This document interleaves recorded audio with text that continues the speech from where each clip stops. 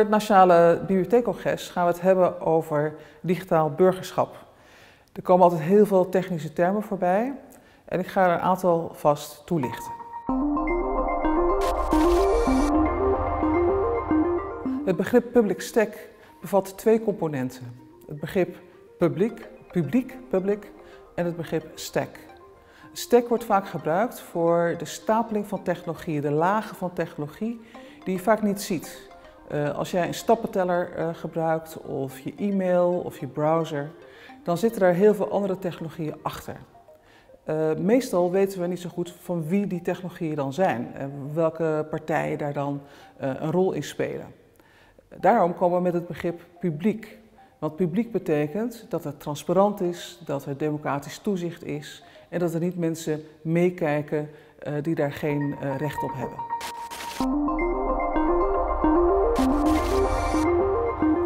Commons kennen we in Nederland als het begrip meent, van gemeente.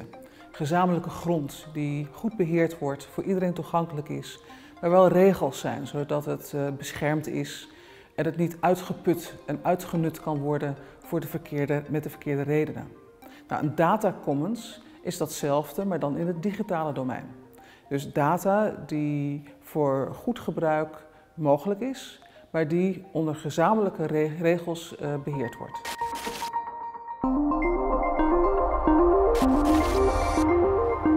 Soevereiniteit is uh, het begrip wat staat voor dat je zelf kunt beslissen over je eigen handelen.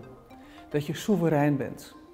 Uh, in het digitale domein weten we eigenlijk niet meer of we gemanipuleerd worden, of de algoritmes die achter onze nieuwsfeed zitten bijvoorbeeld, zorgen voor bepaald gedrag de spelletjes die we spelen, die misschien ook wel aanzetten tot verkeerd gedrag. Dus data-soevereiniteit betekent dat we soeverein blijven en dat we niet gemanipuleerd worden door algoritmes en door datasets die uh, ons geprofileerd hebben en ons dus bepaalde dingen wel en niet toestaan.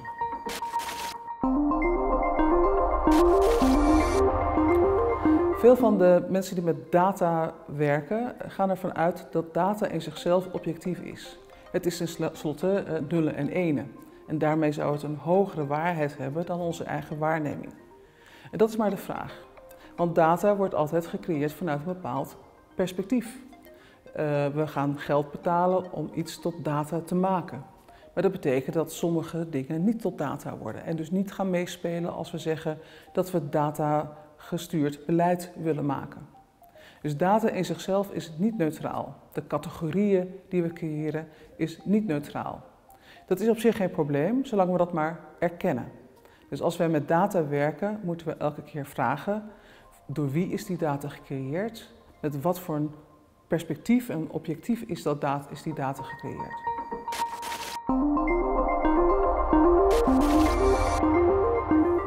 Big tech is het begrip waarmee we de macht van een aantal grote techbedrijven aanduiden.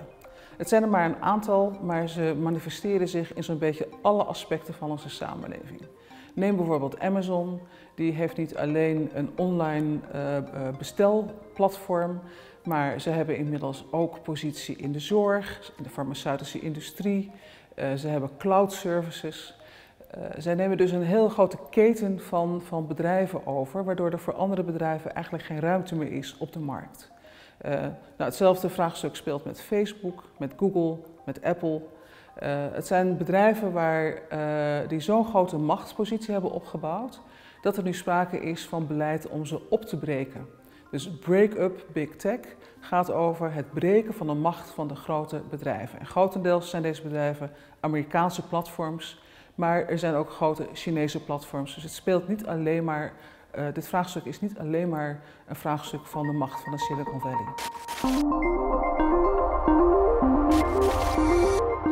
Public spaces is een begrip wat we gebruiken om aan te geven dat het mogelijk is om een internet te maken waarin we die publieke waarden gegarandeerd hebben.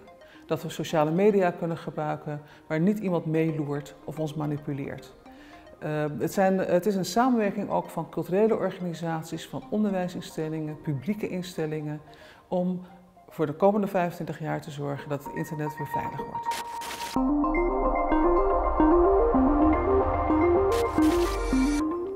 Next Generation Internet is een programma van de Europese Commissie waarin uh, bedrijven, organisaties, wetenschappers, maatschappelijke organisaties uh, betrokken worden bij het ontwikkelen van een nieuwe generatie internet. En dat internet moet mens centraal stellen. Waarbij we dus niet de verdienmodellen van de big tech gebruiken, de grote bedrijven die ons nu uh, grotendeels uh, afluisteren en meekijken, maar waar onze publieke waarden centraal staan.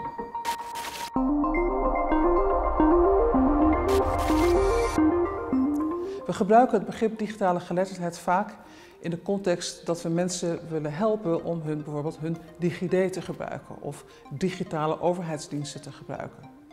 Maar we kunnen ook verder gaan met digitale geletterdheid en misschien wel technologische geletterdheid, zodat mensen begrijpen hoe technologie eigenlijk werkt. Het is eigenlijk een basis voor burgerschap om te begrijpen uh, hoe digitale services er precies uh, in elkaar steken. Dus als we kunnen zorgen voor die verbreding van die digitale en technologische geletterdheid, kunnen we ook bijdragen als samenleving aan een veilig nieuwe internet.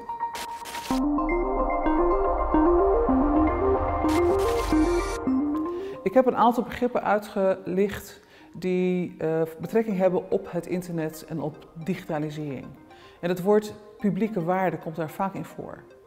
En waar het om gaat is dat iedereen vanuit zijn eigen verantwoordelijkheid en zijn eigen positie daaraan kan bijdragen. Om die publieke waarde in onze digitale toekomst te gaan borgen. Dat kan vanuit het onderwijs, dat kan vanuit cultuur, dat kan vanuit zorg, vanuit de overheid. We kunnen met elkaar zorgen dat we technologie die publieke waarde bijbrengen. En dat we gaan ontwikkelen op dat vlak, maar ook daaraan zelf mee gaan ontwerpen.